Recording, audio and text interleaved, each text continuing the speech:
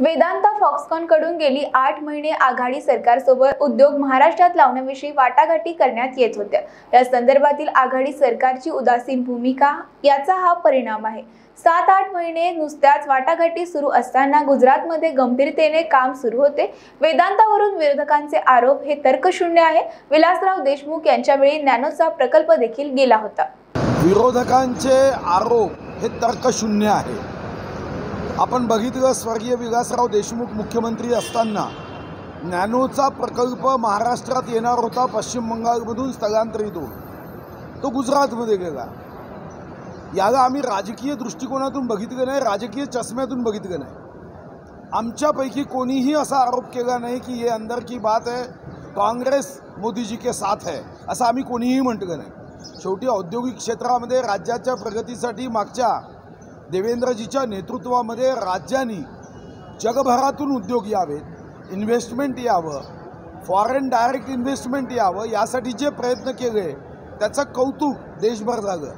आत्ताही मान्य एकनाथ शिंदेंच्या नेतृत्वामध्ये ही भूमिका राज्याची स्पष्ट आहे.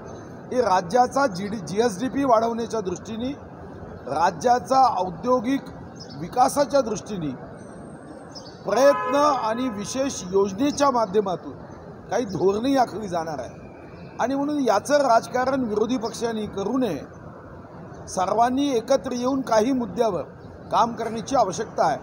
आणि वेदांतांनी सुद्धा या संदर्भात एक ट्विट केलं आहे की आम्ही राज्यामध्ये मोठं इन्व्हेस्टमेंट आणण्याच्या दृष्टीने विचार करतो नाही भूमिका बदलवल्याने तर आज त्यांना सत्तेवरून दूर जावं लागलं.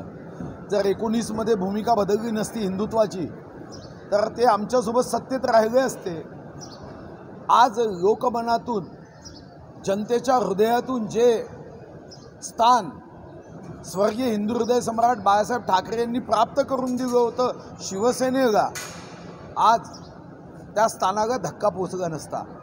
पण नेहमी विचार बदलवण्याच्या कारणाने मग जैतापूर असेल नाणार असेल किंवा या राज्यामध्ये काही येऊ घातलेले प्रकल्प याला मागच्या सरकारमध्ये गंभीरतेने न घेतल्याने उदासीन धोरणाने ते प्रकल्प बाहेर गेले.